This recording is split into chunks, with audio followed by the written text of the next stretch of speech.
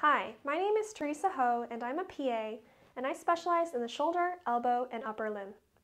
In this video, I will discuss how to prepare for your upcoming PRP injection, also known as a platelet-rich plasma injection. What should I expect during the procedure? Once you have arrived in the office, we'll start off by using a very small needle to draw your blood into a tube. Usually the blood will be drawn from a vein along your elbow. Next, we will transfer the blood to a special machine called a centrifuge to spin the blood, which will separate the blood into several layers. While we are waiting for the centrifuge to spin, we will inject local anesthetic into the painful area to make the PRP injection as painless as possible. Once the centrifuge process is completed, we will then remove the layers that contain the platelets and growth factors into a separate tube.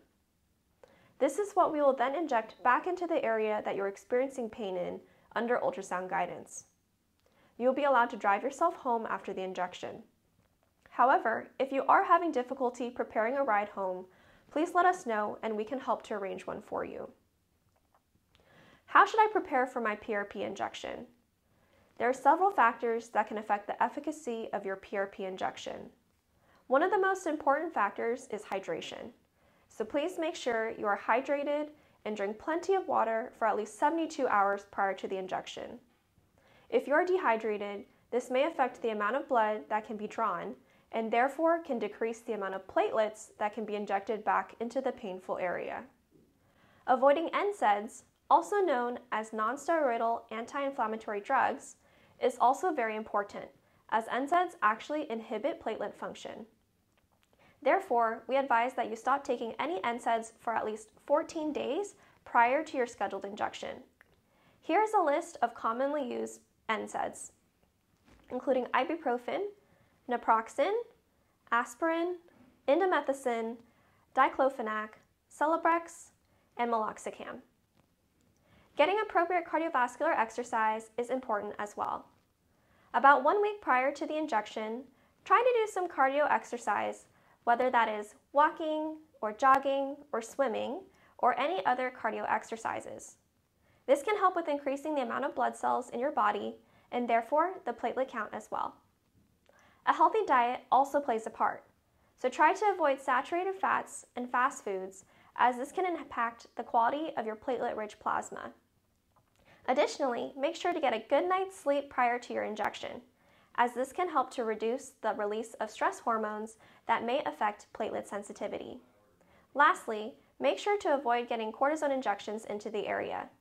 We will need you to wait at least four weeks from the time of any recent cortisone injections into the area to have a PRP injection. Part of the way that PRP injections work is by triggering a healing cascade of events, some of which include inflammatory reactions.